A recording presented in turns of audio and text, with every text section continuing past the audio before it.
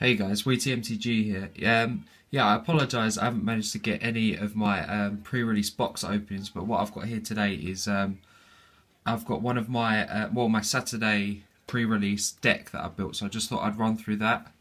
Um, I went 4-0 with this deck and I came first place, so yeah, that was good. So I went green, so obviously I got the Nessian Wilds um, Ravager, which I think was arguably the second best promo after red.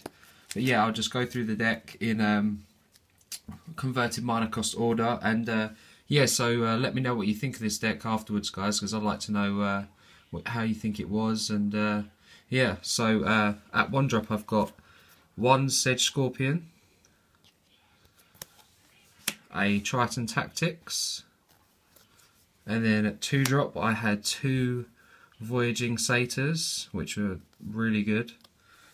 Uh, one Curious Follow, which is really good. So as you can see already, I've got quite a lot of uh, mana ramp if I needed it.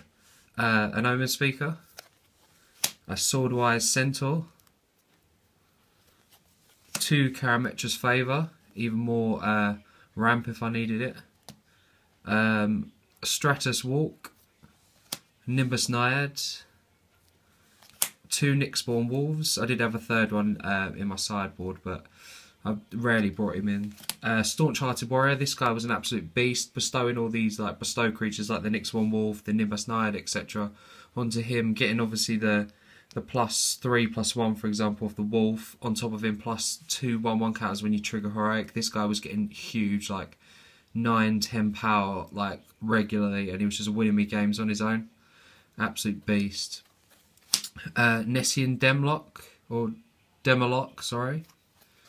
I had two Pheres-Band Tromper. Again, this card was absolutely sick. Like, if you can get this down on turn four and just start swinging, like, like when you like as soon as possible, he's gonna start getting counters on him, and then he starts getting a bit out of hand. So yeah, this guy was really good. Horizon Chimera actually saved me a game at the end. I had a guy, um, I he had um, lethal on board. He had two flyers. I was on four life and um, yeah, like, and if he swung in, I knew I could flash this in on block one and only take three damage to go down to one. Then I could kill him on the backswing. So yeah, this guy saved me in a in a in one of my matches. So uh, I was very pleased with that. Bident, like I usually love Bident. I play mono blue in standard, but um, this is the card that I quite often sideboarded out for stuff because I, I just didn't find that I was using it enough and like I d- I don't think I got any card draw off it. I think I played it once, but didn't. I'd already won the game by then, like, so I didn't get any card draw off it. So it was. I don't know. I like. I like the card, but I mean, it just didn't do that much for me on the Saturday. Nessian Asp. Everyone knows how good this is in a sealed pools or draft. Like, it's an absolute beast. Uh, Hunter's Prowess. This was again. This was very good. Uh, Benthic Giant, he's just a big fatty, hexproof, like he's very hard to get rid of. Archetype of Imagination, this card was absolutely sick. Like, if you could play this out, especially with my ramp, like I was playing it, I managed to get it down on like turn turn three at one point, and it just giving all my creatures flying, taking away all um, all your opponent's uh, ability to have flying and game flying. It's just absolutely sick.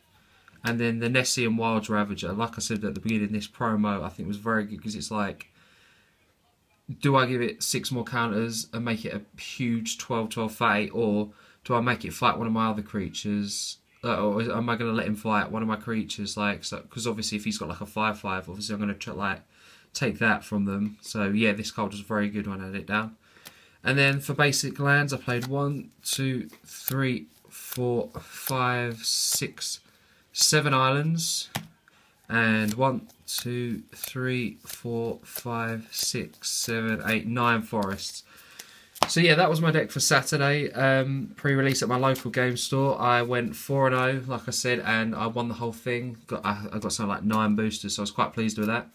Yeah, so um, I do have two more videos coming because I went to another pre-release on the Sunday and played um, normal sealed, and then when that finished, we played two-headed giant sealed. So I got two more pre-release boxes and decks to uh, show you. So uh, yeah, give me any comments on what you think of the deck, and uh, remember to like, comment, and subscribe.